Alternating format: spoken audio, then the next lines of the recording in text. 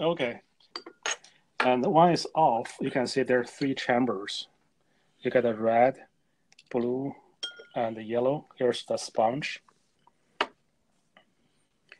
And uh, now you need a, a kit. You're going to have two covers in this kit.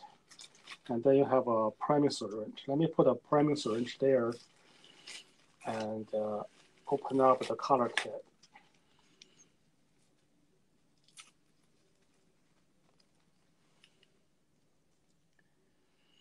Inside the color kit, you can see there are three color plugs. Those are for the refills.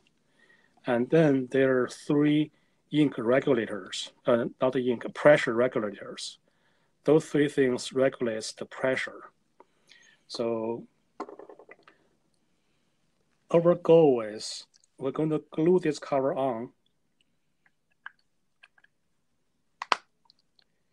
And uh, when we glue it on, we make every chamber be airtight.